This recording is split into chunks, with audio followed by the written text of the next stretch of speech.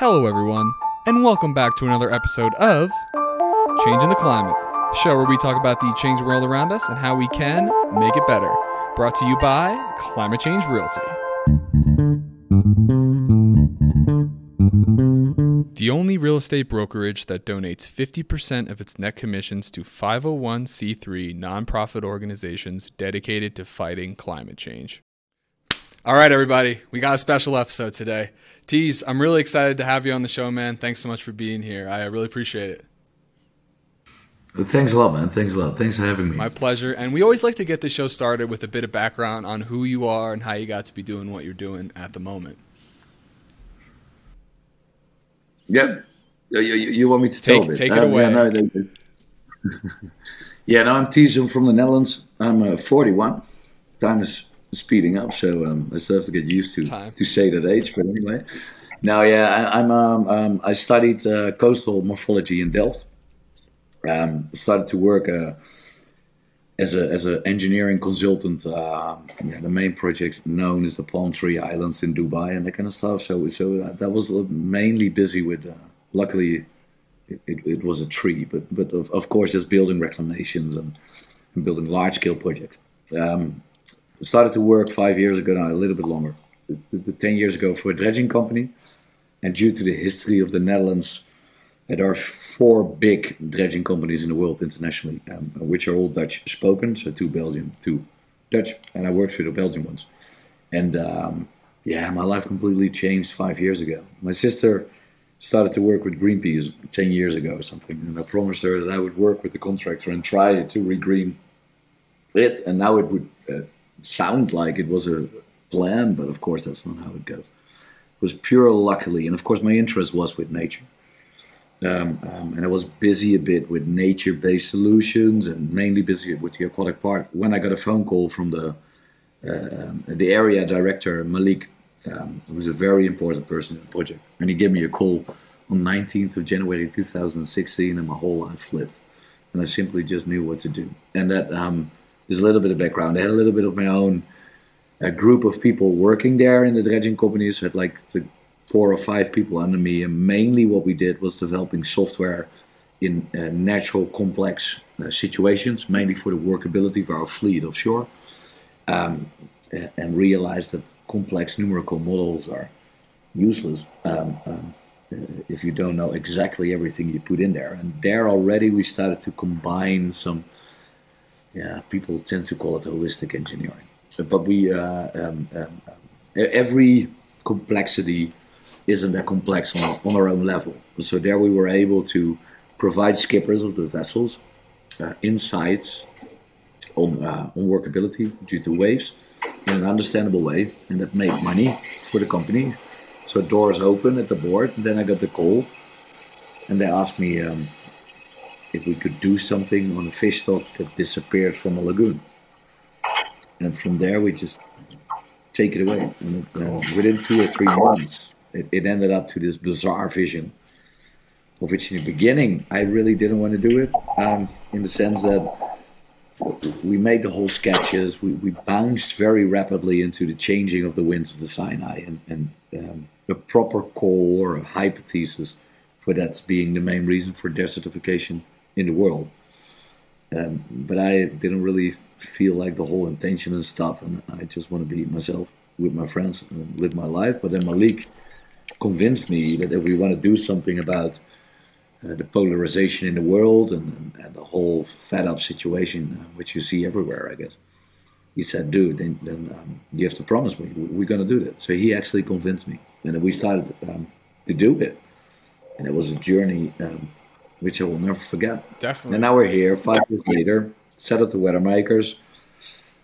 Not not a profit, but a kind of impact-driven company. Sure. I, I, don't like the word company, but it's just it's, it's everybody. It's, a, it's kind of a big family, which with all type of people from all over the world support me.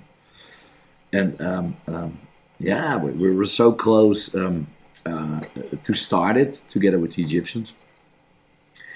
And then uh, to finalize that first introduction, um, um, uh, uh, John Liu and I always uh, um, use a little bit the I Ching. Of what? if we're if we're following the I Ching, it's, it's it's it's like a it's it's it's a very interesting uh, Eastern uh, spiritual yeah, book method. It, it, it, tells you something about time and, and it, it keeps you calm not to get crazy about why things don't happen or why people make you a fool or whatever it is. Well, can you explain that a little bit more? What does it What does it tell you about time? What is your perspective let me, let me, on time? I can only tell you because I have to be careful there because I did I, I, did my own way of how to how I have to use it. But the way I use it, I, I'm I'm a bit of a fan of Terence McKenna. I don't know if you guys know it, but he's I'm from the States. With him. the, I love Terence, uh, Terence in the way that he opened up for me also um, what is creativity and what is that thing. And what Terence did, he really digested the Eastern knowledge, which was built up in thousands of years, of which the I Ching is one of those those books or some methods, but are um, that he very much dived into. And what they actually explain is that time isn't linear, but time is a vortex, and, and, and, certain things repeats by itself. So the way we in the Western world chopped up DNA in a kind of vortex way, that's how they did it with time. And um, what you can learn from it is you can really start understanding certain processes and get more comfortable on the path you are. That's what it does to me. And, and the I Ching always told me and John Liu uh, there will be a clear sign. And the moment, of course, we heard, that was a little bit earlier before it was in the news, that we heard that the next COP would be in Egypt, would be in Sharm el Sheikh, would be in the Sinai. We realized that um, the year is to come where we're going to drop the plan and um, try to show the people, because I think that's the bizarre thing about the project, is that there are global effects of ecological destruction, but definitely of ecological restoration, which gives hope. And not only gives hope into a way out of climate change or biodiversity loss, but mainly, I guess, if you ask me, about equality. And that's, that's I guess, what, what for me all comes together there. It's, it's, it's, it's, um, it's life. It's, it's, um, it, it, it, it's, it's, it's a future perspective, um, um, which I lost before this came up to us. Yeah. And with it, we now got a whole bunch of inspirational people around us that's supporting it, and we really guess pushing it a bit to the next level. Okay, that's uh, that's really that's really something. Yeah, no, it's a, it's a yeah. beautiful introduction, and it gives me a lot of perspective on who you are and the way that you you see things. Um, the idea of, of time being cyclical, I don't think anyone could like conceptualize, especially like when you grow up in like America, like from the West, like nobody yeah, I, have you ever seen the film uh, Mr. Nobody?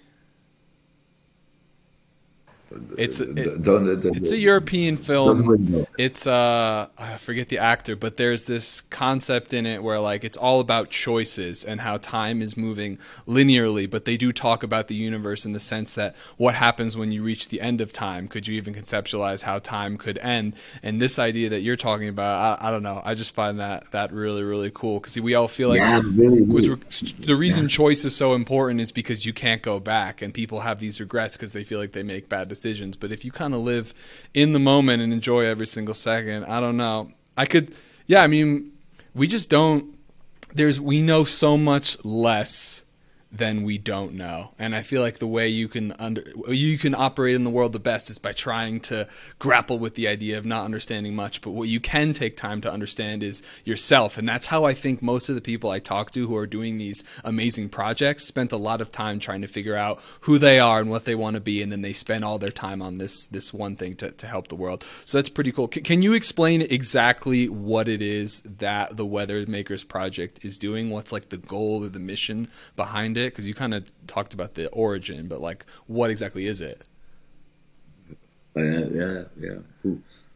It's always this question is always interesting. The, the, the thing is, I guess what what, what the Weathermakers tries to do is a is a real opportunity in this world that keeps on uh, polarizing more and more and pushing everybody further away from each other. Is to generate a real opportunity for the local people in the Sinai and for the Egyptians to um, say what I guess their indigenous knowledge always said. It's um, the future of humanity is in the history of, uh, of Egyptian knowledge. Um, um, so what we're trying to do is, is, is, is create an opportunity to regreen the Sinai for the local people with the support um, of the, the um, yeah the, the, the, the, construction capabilities um, of many of the, uh, the destructive industries which are out there right now, whether it's the dredging industry or the oil industry or other things. And it's definitely not um, a greenwashing, and it's a big, big discussion now after COP26. What we're trying to show is um, climate change in the short term and in the long term um, can be beaten the best by ecological restoration, where ecological restoration does not only sequester carbon or other greenhouse gases, or brings water back into uh, the soils, which create rivers to flow, which creates agriculture, which creates food, which create the foundation for peace. Um, but it also um, uh, stabilizes the, the, free fall of which our biodiversity is in. and I guess the good thing about it is, is that whatever you do with ecological restoration feeds the people that live on the land and doesn't feed a single person or whatever it is. And lots of the things you now see the world is doing for climate change. And luckily, finally, the awareness is there. Um, but what we discovered purely by coincidence, and um, not a scared mind. With other words, uh, a mind, um, and it's not one person, but it are many persons now. There are hundreds of people that work on it.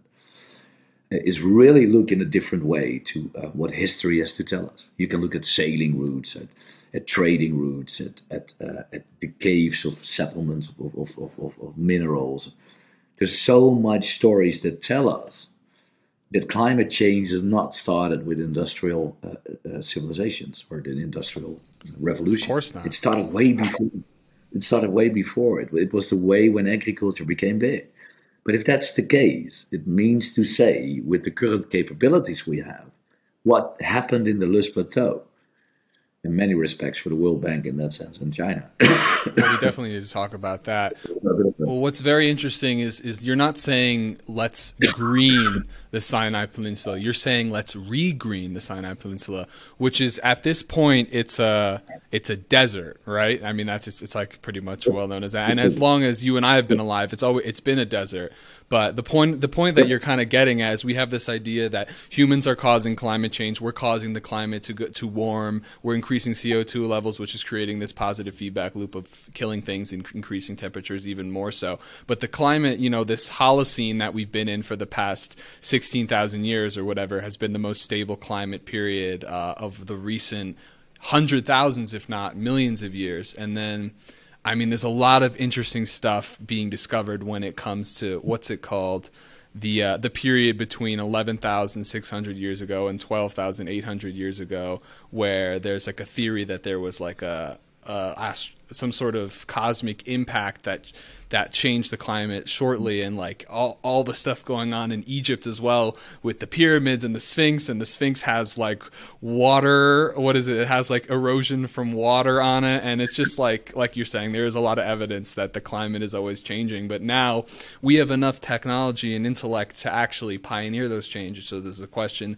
do we want to use it to suck up all the resources today and then just become you know fat rich kings who just suck the land out, or do we want to become true stewards of the land and you know uh, create more life? Which I think is it's very readily obvious that we can do that. So the question is how, and I think that that's kind of what you're working on is like turning an area that used to be full of life and bringing it back in. If you guys can successfully do this, I think it'll be a groundbreaking project. Let, let me try to add on that do a little it. bit uh, because I like that, that is without a presentation. But I guess what I learned from Millán Millán, which is an amazing metallurgical scientist who was in the lead for the European um, uh, Union for 25 years, but nobody want to listen to him because everybody just want to build and do their own stuff. Um, what he learned me is that you have certain continental divides. very simply, these are mountains high enough to separate weather systems. It's six degrees per thousand meters. With, if your mountain range reaches up to more than 2,000 meters, it can separate weather systems. So it can separate the Mediterranean from the Atlantic. And what when I started to digest this work and, and, and looked at the vision or the story that came up with it, um, with one of the most sacred places in the world, the Sinai, we realized there used to be a continental divide on that Sinai. So there used to be a mountain range high enough to separate weather systems. But these weather systems um, there was the Mediterranean and the Indian Ocean. And due to the, her location um, on planet, if she is broken, she could very much cause like a leak in, in the whole Mediterranean catchment basin. And that's why became, she became a desert. What we what we realized that if you fix and somebody some people used to call it acupuncture points on this planet. Are there acupuncture points on the planet? Yes, there are. And for sure the things we destroyed. And if we, um, if if you cure a patient in a hospital, you start searching for where why she's ill. It doesn't mean to say that the whole desert needs to be regreened or other places. That we need to restore ecological function. Not only trees. There's much more to do. The swamps, the the, the animals, everybody, everybody is a weatherman. Totally. Um, and, and that's what we that we that we just purely by instinct bounced into. And for me, being a, ch- a child from from uh, metrolized hippies, uh, I never was that close to a religion. But many of the people around us now in the story, if, if, if, if you have the guts to start reading the faith books and the old text, you'll all see it. It's in there. It's in the Quran. It's in the Bible. It's in the Old Testament. So what it actually does? What is there? These the, the idea of this inflection, these inflection points, or what exactly are you talking about? I always there I have to be careful because it are, it's not my um, fate. Sure. I, I do, due to due to the um, uh, the project, I have lots of respect of it because I understand it's it's part of law. But it's the Quran that says it's He who fertilizes His winds and builds up heavy clouds, and with fruit make it come down above dead land. So what you see is, and it's in in the Bible, eh, it's He who split the rock that create um, water to flow down like rivers. It was Millán Millán that told me it's not a human, it's the tree that breaks the rock. So, oh, damn, that makes a bit sense. And if you start seeing it, and that's what I learned from the Chinese when I was with the Loess Plateau with Li Rei, it's that in their culture, in the Asian culture, they are much more focused on, on their past. And for some mm-hmm. reason, we in the Western world, or for sure in the Netherlands, or my education, eh, I always have to be careful here not to step on any toes. um, that I, that, that I, I, was always busy with the formula that can solve it all. But the formula is out there. It's, it's, it's back. It's not in the future. We have to learn. The land will tell us. And the sailing routes, and I'm a sailor.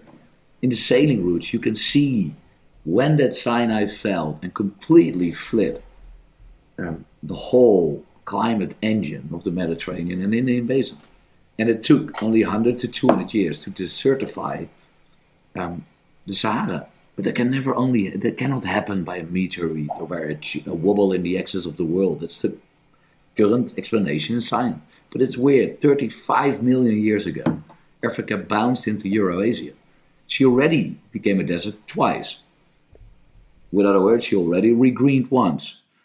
So why don't we look at and why do we accept that this whole world, 25% is a desert? And there are heat factories. And yes, they reflect more heat into uh, uh, outer space, absolutely true. But they create much more heat and they push out weather systems. Why do we accept it?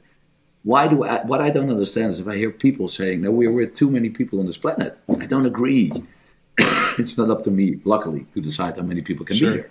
But we're not going to change our behavior as a species to say you cannot do this, you cannot do that, you cannot do this.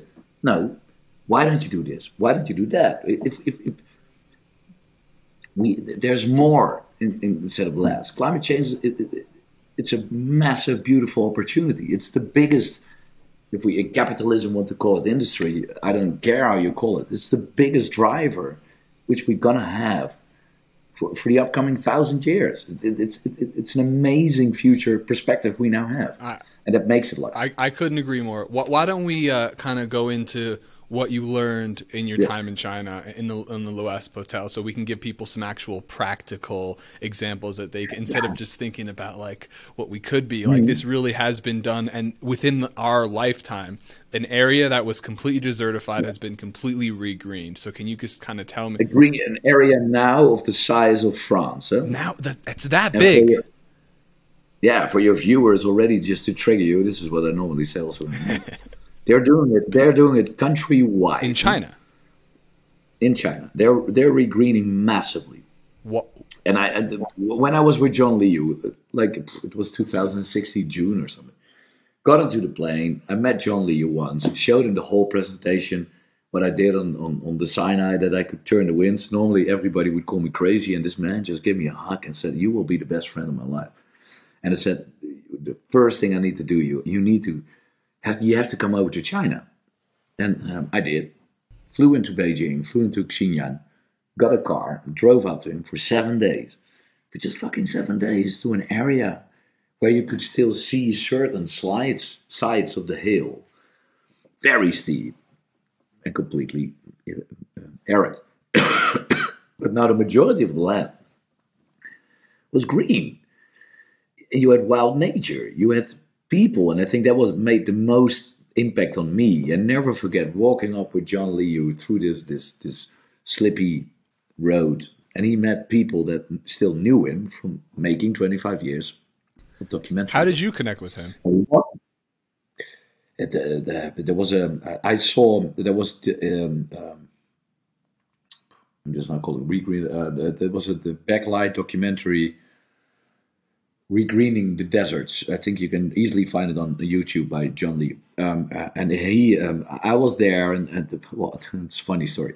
I was actually just working, right? I was a technical manager on a big construction site, and I was doing some other stuff. And then this just popped into my life, and I called all my clients and said, "Listen, I'm not going coming to site the coming weeks.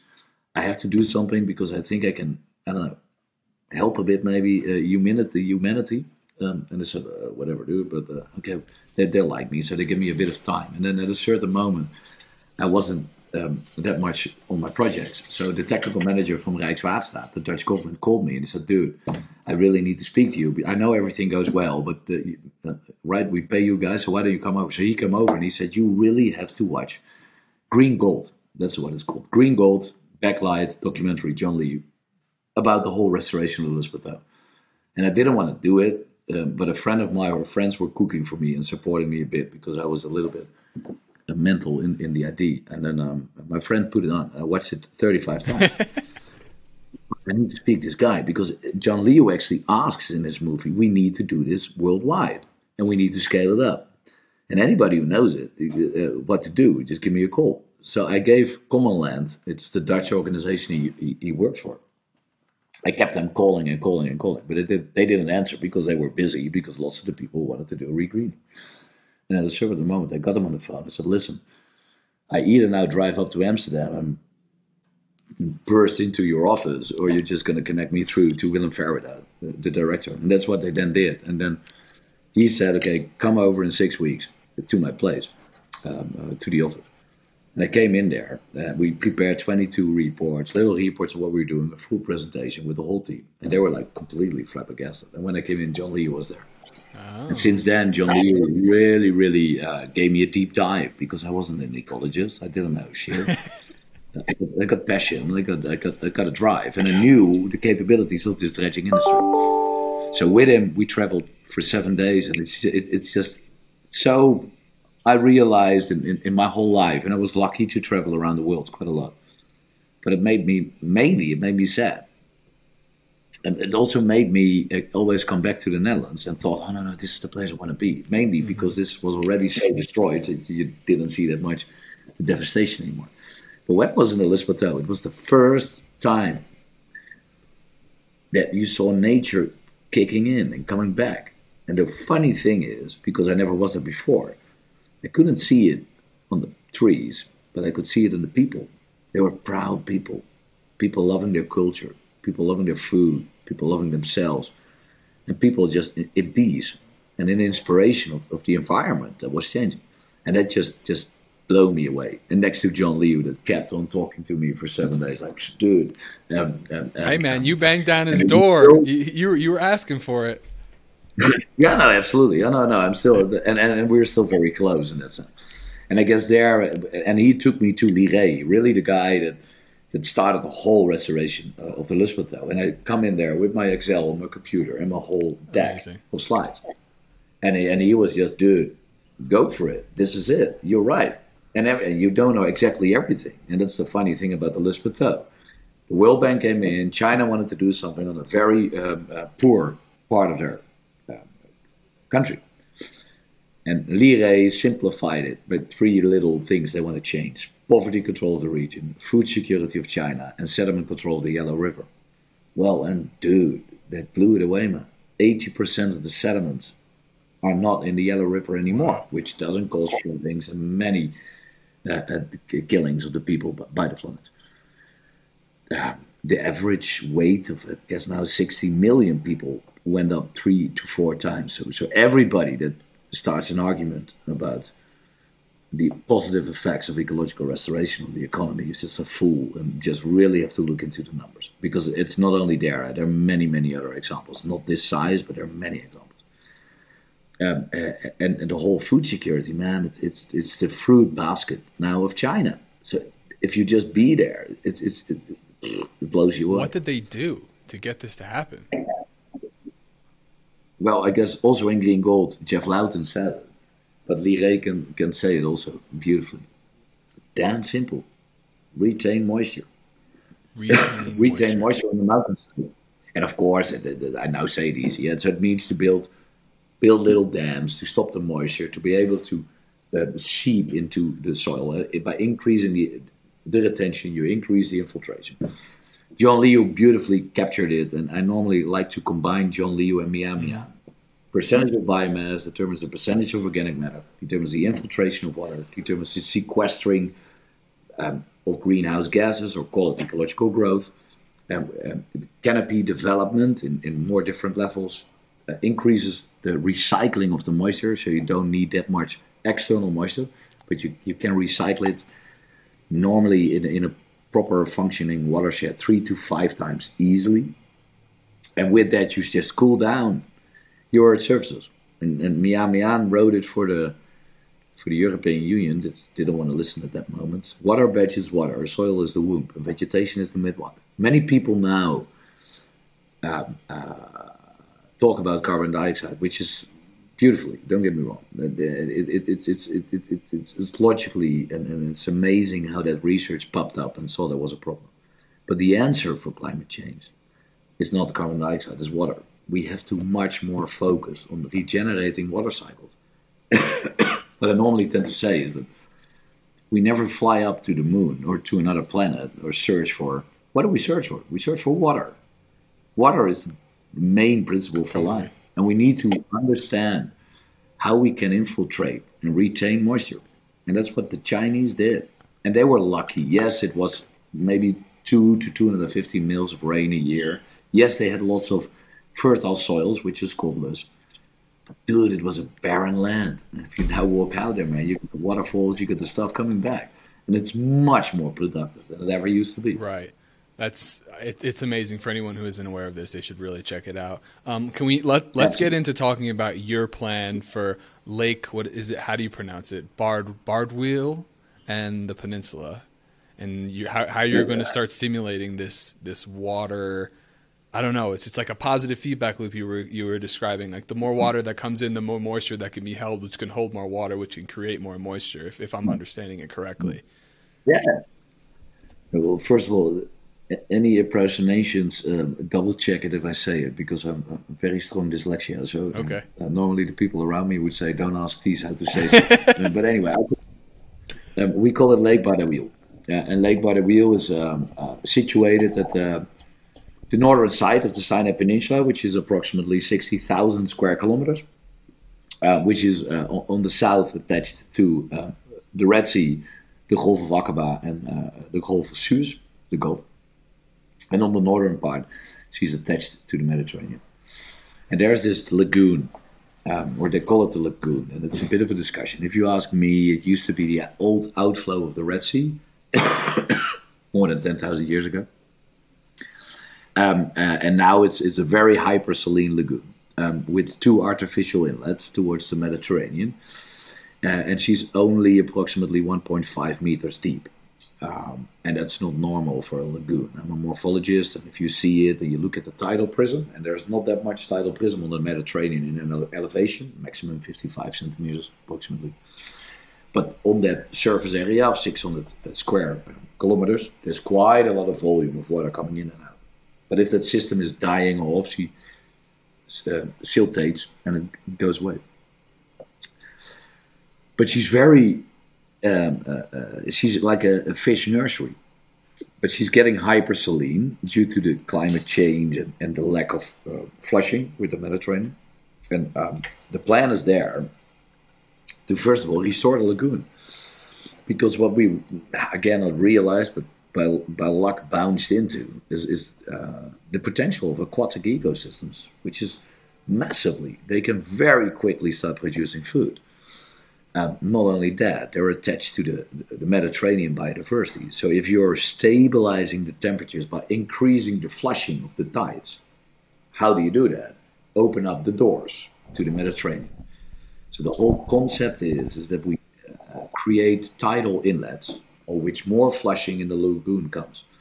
This stabilizes the temperatures, it reduces the salinity, and it uh, it it it, in, um, it lets spiral flows, so 3D kind of yeah, spiral flows enter the lake, which they will steer up the sediments from the bottom, push them up um, towards the upper part of the column, the Secchi depth for for um, detailed people, but it's just the, the top four meters where algae can grow. Here, mainly diatoms, the phytoplankton types. It's the baby milk for the aquatic ecosystem. And then the whole ecosystem can start up. And we do that by dredging inlets and reuse all the sands we dredged. So the inlet we dredge, we create kind of sand engines to capture even more tidal energy to, to push into the lake. And we, we generate internal gullies in the lagoon to connect um, and reduce the friction. So more internal gullies, tidal gullies. So it's um, channels, but then uh, naturally made. Um, and by doing it, um, uh, you really rapidly reduce the high salinity part. And now it's so saline that the whole ecosystem is is on her knees, right? She's she's ready to die off. But um, uh, rather quickly we can. Um, and the question is how quick we have to do it. But we will learn from it. We will do it step by step. Um, we can bring back uh, life into it. But if we do it, we also need to dredge the gullies. And with the gullies, we start to dredge sabkha.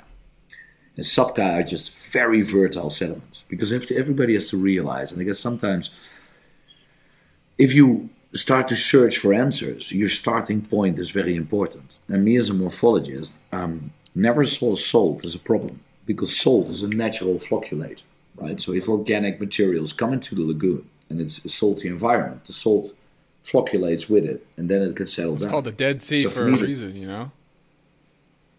Yeah, yeah, the, well, the Dead Sea is very salt, of course, but not definitely. So, so the sabkhas, um, um, uh, the sediments are very, very fertile. They're only lacking really of, of, phosphor, but for the rest, they have everything.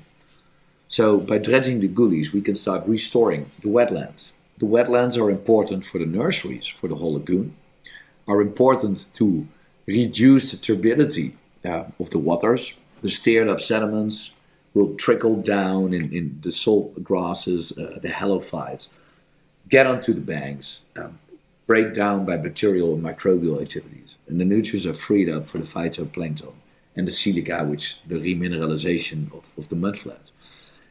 And then, and then you get the funky part. But not only that, the wetlands are the first evaporation machines you need in a watershed. and Millán beautifully showed that in Spain. So what we started to realize is, is, is, is by just simply optimizing the first work of the lagoon, we were very much increasing the available water vapor into that desert. What is in, inflatable water vapor? What does that mean? Well, we are starting to increase um, um, uh, the water vapor uh, into the watershed. Uh, sorry, maybe I, I used the wrong no words. Word. Um, um, um, but, but, but, but the wetlands are just crucial part uh, uh, for it. Again, it's also a funny thing because what it does, um, the Sinai, and Google it for, the, for your listeners, really Google it. The Sinai used to be the biggest migrating birth route of the planet. But that helps us, that makes things more simple. I always have to think of Geoff Lawton, a known permaculture person, telling that in, in the documentary of John Liu. What we need to do remains relatively simple. It's hard work, but the choices are just damn easy. In these settlements, there are indigenous settlements, right? They are the eroded soils uh, from when she used to be green. And there are still indigenous microbial communities in these settlements. We got the settlements. We started just to plant seed. Everybody told us nothing will grow in it. We started to place seeds in it, and shit started to grow. So there, what we realized that if we can attract again the birds that are very much flying around there, they will bring the seeds. They will they will build up the new biodiversity, which is robust. I normally you don't use to call it ecological restoration because we're not going to restore which was out there because we're way too late. We we fucked it up, so we destroyed it. what we can do is regenerate the natural ecological function, and that's what we do. So the wetlands will attract the birds, they will bring in that new biodiversity, they will increase the water vapor. And then the next step is um, um, desalinating these fertile sediments and uh, reforest the highlands to capture the moisture and then start ecologically restore the whole place. What the Chinese did. Um, uh, and, and they showed us um, the steps to take after that. Well, it, so that's a bit well, it's amazing. It's it's a really interesting concept. The idea being that it's like life was very spread out, circumstances changed, and it seemed to they're making this not this claim, but there's this idea that the seeds for all the life is lying dormant in the bottom of the lake. It's all collected in there, and if you can like spread out this really fertile soil, you can and and where where is the water going to come from? We're not going to spread it out. Uh, we're not going to spread it out. The, the, the image I told you when I had to say I'm still in construction. Uh, we, are building these uh, for local people. These these eco oases, yeah, really that. based upon work, based upon the work of John Todd. What John Todd did, which which and everybody needs to Google him as well. He, he's a, he's my Jedi, um, together with some others. But he's an amazing guy. What he already did from the 60s, he built eco machines. He built aquatic food webs to either purify water, harvest nutrients, and connect them also to land, terrestrial ecosystems. And if you do it, you start to understand that that all builds uh, functions, right? And if you really want to create a, a, cycle in, in, agriculture or other things, we got to look at, uh, at uh, agriculture, um, cattle, aquaculture, and our own households. This is what all the indigenous people do. So by creating um, a salt water uh, aquatic food web, we can produce fresh water if you put a dome around it, or later on, whatever shape it might be. It might be a greenhouse, whatever it is. And um, you can use the water um, um, as an energy buffer. Uh, and if the sun comes up in the greenhouse, he evaporates the salt water, so fresh water is evaporated, you can condensate it. From that, we can build a brackish food, aquatic food web. And step by step, we can desalinate the soils and build a more fresh aquatic ecosystem. And that's and that's uh, sorry, uh, and, fresh uh, terrestrial soils and, and trees, etc. So there, what we're doing is the main infrastructure will be really supported by functional biospheres, so soils, plants, etc. Yeah. And later on, of course, you can still uh, think about spreading out uh, um, the sediments. But of course, the sediments are in the beginning salt. So you've got to be very careful not to pollute your surroundings with the salt. Um, uh, but if you want to do it on a large scale, um, and for sure, if you want to regreen a desert, the problem of the desert and the difference compared to the Plateau is that we don't have soils, right? So the majority of the soils we need to bring there. Now look into the mining industry. I used to work for quite a lot in that sense. They all do it hydraulically. So what we realize is if we're dredging in the lagoon, energy-wise, so just let go of everything, right? Think about your head, trying to find a solution. How can I get soils up into those mountains. A very easy way is just transporting them hydraulically. Looking at the sediments, we saw we were only lacking of phosphor, of which the seawater st still holds low concentrations, but phosphor. So what we realized is that if we would build a, a salty aquatic food web high in the mountains, so we will pump it up with pipelines on a low density to avoid uh, large maintenance costs of the pipelines, we would pump it up there, take the salty water um, through an aquatic food web where all the nutrients are har harvested by phytoplankton, by uh, microalgae, etc., and being processed towards fish, which you can harvest. So it's not only you eat, the people that are going to live there have a very diverse food platter. And if the salt then goes a little bit salter flows out to the system, we keep it into a settlement pond. Let it further evaporate moisture because salt water, isotope 18, needs more energy to evaporate but uh, condensates on a lower level. So it's very interesting to do ecological restoration with water vapor with a high salty footprint. And if you have that salty water still in the mountain, you let her flow back to the ocean, get the energy out of it, and use that to pump it up again. So, really, on an energetic scale, it's a very wise thing to use seawater um, uh, as an energy buffer, but as a transport medium. And by doing that, you can really start looking differently at large scale ecological restoration, where again, the industry supports local communities to do this. So it's the local people that have to do it. And I learned that myself as well. I just planted a tiny forest here in my own garden. And it's it's work. It's yeah. love. You got to give them love. It, it's it's people work. And, and um, um, so I don't really myself don't believe in, in very industrial ways of revegetation because it's got to be people have to do it. Uh, law's got to be put in there, but the resources brought to the place can definitely be done with industrial capability. Yeah, no, that that makes sense. Um, so how why are you or how are you getting permission to do this in Egypt if you're from the Netherlands? Do you have a, a partnership with the, with the local government? Now that's also that's also how things um, um, go. And I have a partnership uh, uh, with Egypt. I, um, um, um, it was their question.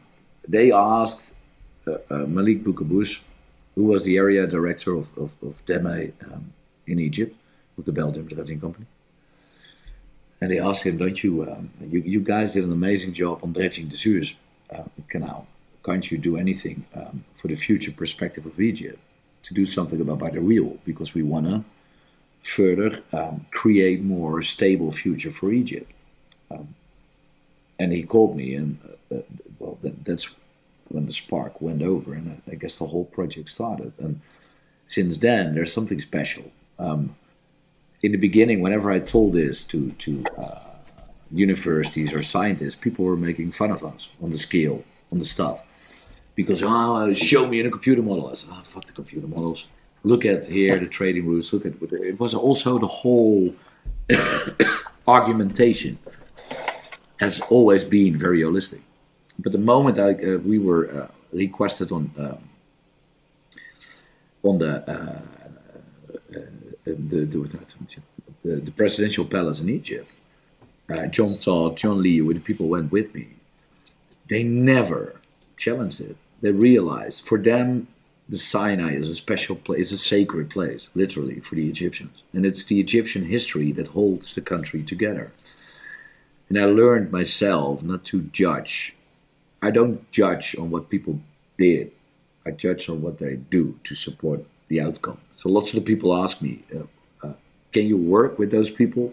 Well, I normally always tell them, please look at your own country or your own government, your own companies whatever we do, I don't believe that people are much worse in that sense.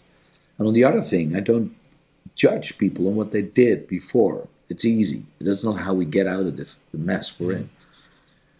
Um, um, um, and that's how we started to do it. And, and, and, and um, um, yeah, and now we build up a very strong relation with the Egyptians. But don't, but bear in mind, and that's what I learned from John Liu, ecological restoration it, it, it, touches all the people out there. So you, it's a long, long process. Um, uh, yeah. But ball is rolling, and they love it. No, I, I suspect so. Let's let's go back a, a little bit to this idea of like these um, acupuncture points that you had spoken about. Yep. Um, and why why you're so interested in the uh, the Sinai Peninsula to begin with um, because it has this proposed effect that you think that it's this focal point that can change the whole climate system by reorienting the um, the wind patterns, right? And that's that's another reason why you're specifically very interested in regreening this part of the world. Yep. Absolutely. So what's what's going on there? Yeah. Uh, okay, let me. It's, it's always interesting now not to do it with with um, with a presentation. I mean, we could put we could put it up. No, no, but but if you don't, I like the challenge. I like that. If you look at um, um, the whole world is being divided in catchment basins, right? And a catchment basin normally means to say that you got a you got an ocean or a big lake, but normally you got an ocean, and you got the whole lands, and you got the continental divide. So again, the mountains high enough to separate weather systems, simply because of their elevation. It gets so cool that all the moisture falls out, and it's the moisture that determines your wind patterns. You can see it with sailing. You can see it with with the Volvo Ocean Race. And, uh, moisture and winds are all connected to each other. If a land doesn't have any moist in her, no groundwater tables, no soil moisture, anything. If the sun comes, or no vegetation. If the sun comes up, she heats up the land. She heats up the land. The majority of, of the solar energy is transferred into thermal flows. The thermal flow normally means it creates a low pressure on the land. And that low pressure then sucks in the sea breeze. Now, if you look carefully on that Sinai, there are a couple of important factors you have to realize. You get the Mediterranean, you get a relatively small piece of land reaching out to 2,700 meters, the continental divide. Next to it again, you have a north south orientated Red Sea, and then you got this massive Indian Ocean basin. And what the Sinai is, she's the most complete, smallest watershed in the world. So she has a shore and she has a continental divide. And that watershed is approximately only 35,000 square kilometers, um, which flows into the Mediterranean. Now, if you understand that vegetation harvested and infiltrates moisture. And if that vegetation is gone, there is no moisture. So the sun heats up, so you create a massive low pressure and you create a suction of this air. But this suction of air, which starts from the Mediterranean, heats up by the desert, doesn't reach your condensation level anymore. Point. So your relative humidity, instead of going down or up so she reaches your dew point. She goes up. So yeah, she goes. The relative humidity goes down. So, so you don't reach the rain point, and all of that moist, which still is normally in the Mediterranean, 66 per two thirds of your moisture is evaporated on the ocean. So you start with a relative humidity of 70%.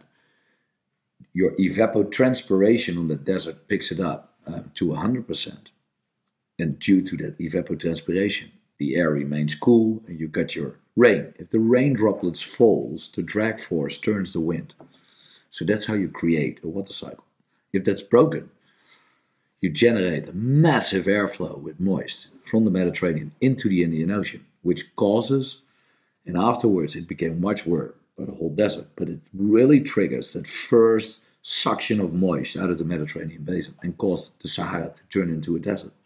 And that moist not being in North Africa is already a problem.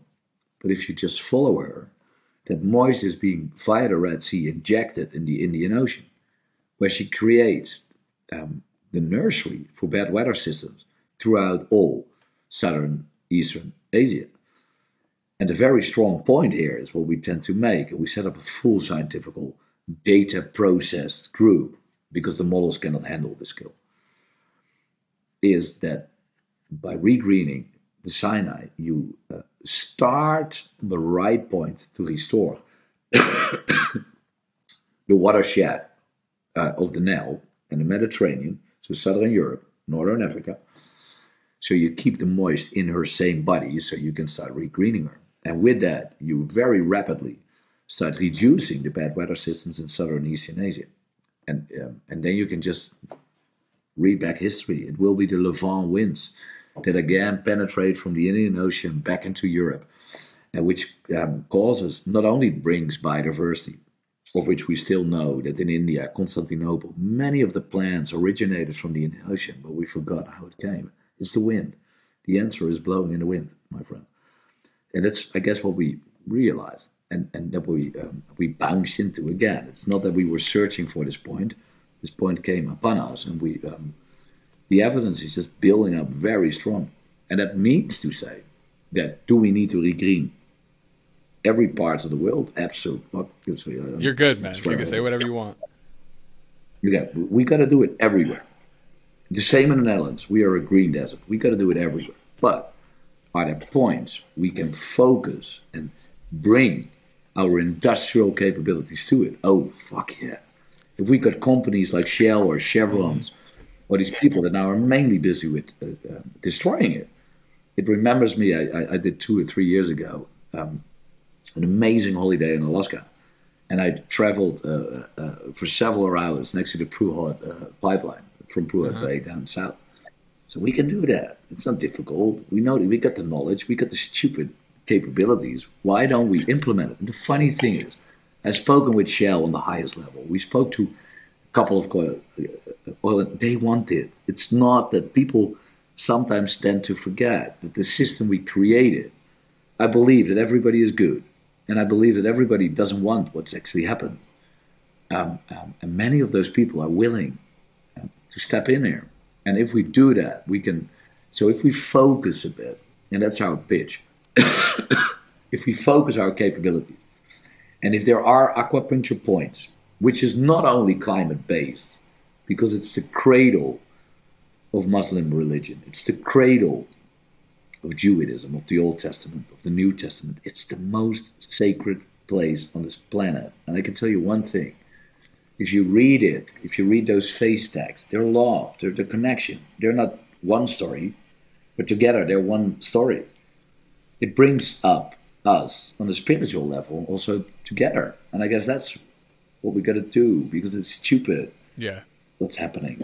Stupid that we're mainly just looking at Europe. Uh, we're, we're, oh no, we got refugees coming from Africa. Sometimes we're even our European Commission and I'm, I'm saying that as a bit of the elder in societies in this current civilization. I call uh, America a bit of a teenager, and you got the young child popping up, China. Yep. And our and, and the answer of Europe is no, let's shoot down the boats. Come on, they're fucking people. they're, they're, they're, the same. We, we cannot say. And don't get me wrong, it's not that we can handle more refugees. so we need to change our future perspective. Why don't we change it radically? Use that, that destructive industry, of which the Netherlands has a lot. We're very good at pumping up oil and the offshore industries. Why not just give it a new purpose?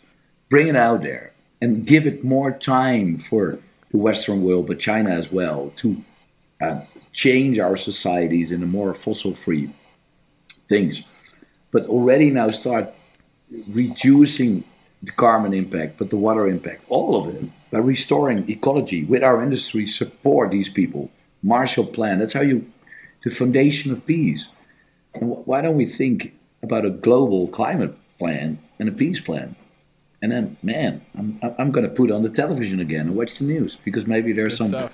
happy stuff passing by there. Yeah. Man, I, I absolutely love your perspective. It's it's it really vibes with me. It's it's um it's really interesting for me to consider talking to all these different people and then specifically now talking to someone like you that I so I I knock doors in Boulder all the time so I meet people uh, us in Boulder you know we can be very different and very similar in many different in many other ways but there are people who fundamentally believe that we don't have the capabilities to change our environment. And then I talk to you, who's literally explaining the exact mechanisms and how they work and how there's these different focal points that we can use to totally create. And I, am I'm, I'm totally on board with you. I also not only is even if it wasn't demonstrably possible based on science that we have today, I believe that human capabilities are are fundamentally unlimited and we're capable of accomplishing anything. So when someone says that I don't think we can influence the the climate, I don't get into arguments with people, but it's just it's really interesting to me when I talk to all sorts of different people who know how all these different systems work. But it's really cool. So so with that being said, since it's clear that we do have this ability to to influence these ecosystems and make them better, more more more able to produce life, how do you think we can create these incentives? Um, to use this power to promote like good rather than just sheer like you were talking about the oil industry deriving profit. I, I agree with you. I think there are these people behind these businesses. They're not just soulless, you know, people who want to just make money. Like they all, at our core, we're all you know the same, like you said. But how can we create like large scale incentives to actually make make this happen and happen uh, sooner rather than later? You know. Uh, um, what normally happens when people are, uh, let me respond to one thing first. Um, what normally happens when people are, whether it's uh, um, um climate induced, um, um, or uh, what was it again? People induced climate, no, that people fucked up the climate. Yeah. If people they, they talk about, oh no, no, we didn't cause the desertification, it was a natural process. Uh, it could well be that if we destroy a little part, the impact could be much bigger. I normally uh, refer to that beautiful story of Yellowstone Park, where rivers uh, or wolves could change rivers or can actually build rivers. Now I normally say, well, "What do you mean say? You're more stupid than a wolf, or what else?" And it's funny, right? So there's so many evidence. It's the beaver. There's so many animals that do it, and people tend to digest that and understand it more easily. So what I normally can do is just mirror them with, with, with animal lives, and um, then they normally open up already a little bit for the discussion. Sure.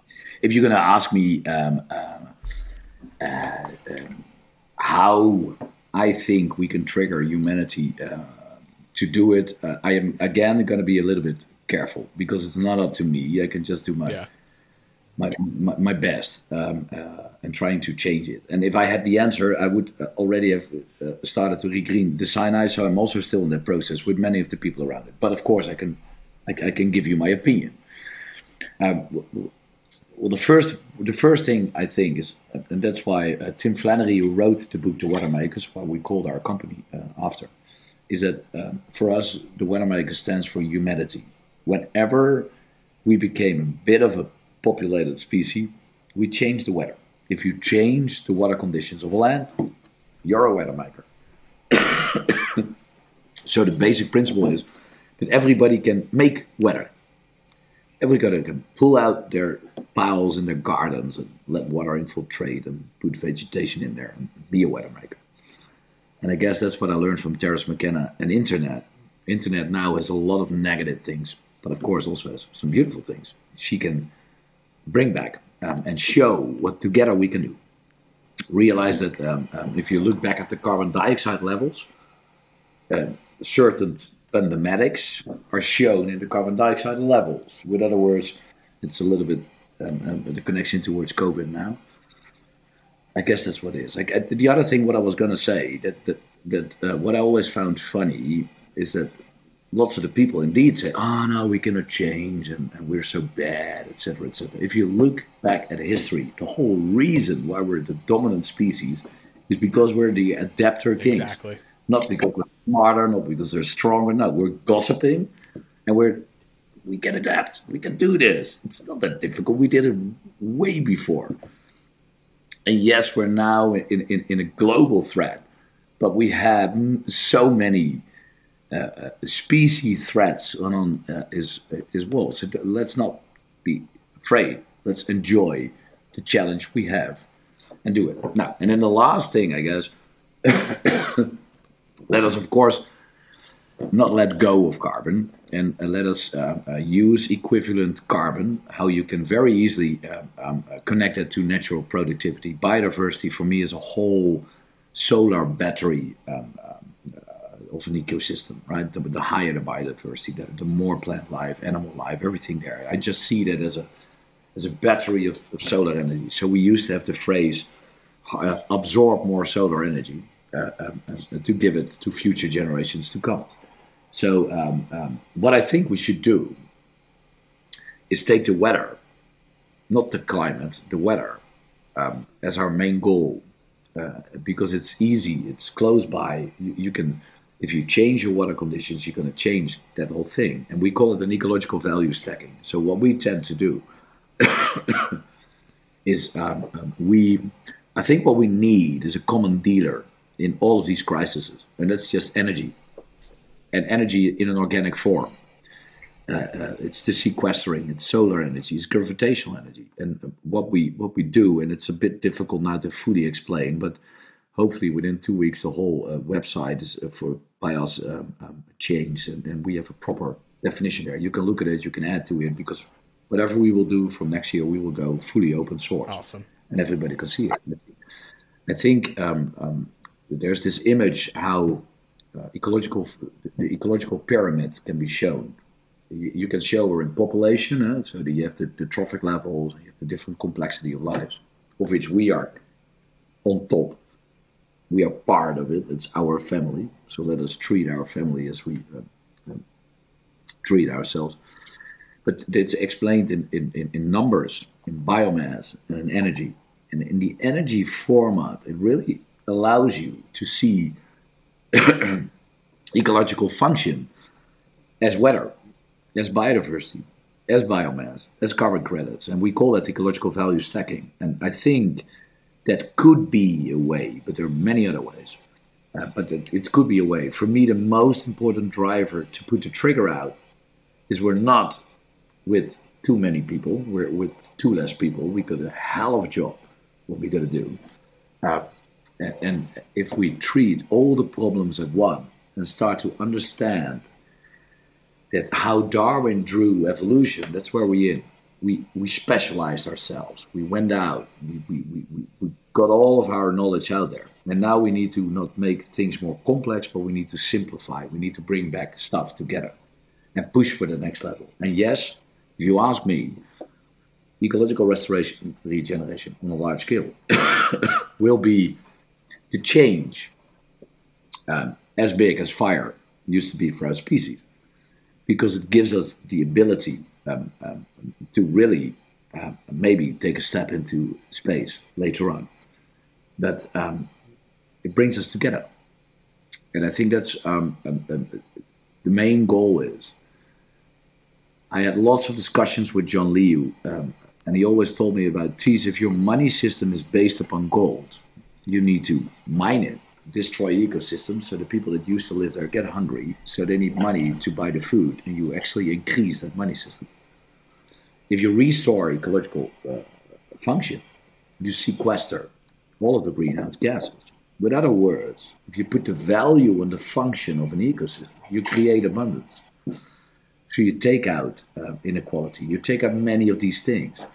So I think the first step we should take is equalize emissions of greenhouse gases towards sequestering of greenhouse gases. Really make the cycle. Because then we all start to realize we forgot the power of our planet, of nature. And she is way more stronger than any, any windmill or solar panels. I'm not going to bounce them. I got some solar panels, I got some windmills. They're part of the transition, but they are not the solution. It's ecological restoration. We got to restore our family and enjoy her. Ties, it, it's been amazing talking to you, man. I, I hope everyone enjoyed hearing your perspective because because I certainly did. It, I, I, I agree so much. I, I, it's so cool because I started off knowing nothing about. I just came in with the idea: how am I going to help people? Climate change that affects everyone. Okay, I'll focus on that so I can help everyone equally. And you know, there was like, okay, yeah, get the solar panels and the wind going. And as I've gotten deeper into how can we really become stewards of the planet, this idea of restoration just it like vibes with the innards of my soul and i love the idea of making things like it's life is not i mean life's very complex but the answers are, are more simple than, than someone might realize. You just have to have the strength to actually uh, actually do it, and I think that's echoed in a lot of the religious texts as well. I was at the end here. I love to ask people. Um, you, I'd love to know what advice you have for other like innovators that want to like reach really high and and achieve like a big awesome project. Any just final thoughts on that? Always have to get used to people. Um, um follow your. I, I, think my main answer is follow your. Um, um, have the guts to follow your intuition. And put your hands in the soil, in the water, and, and feel nature, and nature will support you on the, on the, path you're at. And realize that, I guess, what I've learned, and maybe that's good to uh, to say as well, from from a, a pretty secured life uh, uh, in the dredging industry, but an empty soul. five years ago, with two friends, we made the, the decision to start at the Weather Makers, and I never, one second, doubted that decision. Not that I was, uh, of course, at certain points missing a bit of the security or your salaries or other things, but it was just um, life and love surrounded. And what I realized, whether it's Millán Millán and John Todd, John Lee Ray, all of these people, they are there to support you in this journey. And that counts for me as well. So everybody that, that listens to you and really jumps into it, and it doesn't matter the size. I always say in Excel, the Sinai is as big as my garden. Um, um, and I mean it. It doesn't matter the size what you're doing. It, it means the compassion you feel, the ability to open up your intuition and to share it with other people. And um, I guess all of the people in the restoration are, are, are, are, there for you to support. And just if you want to do it, take up the guts, give them a call. You can you can find my contacts on the internet. That's how we. I, am now hearing your shows. So just reach out, and then uh, I, I guess that's a beautiful thing. Let us connect and, and, and, and enjoy it. Amen. Better get used to that question, man. Young generations coming up, and they're going to be looking at you because what you're doing is really amazing. And I appreciate you taking the time to come on the show. It's been uh, it's been a real joy.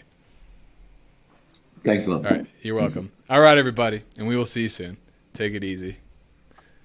Cheers. Bye bye.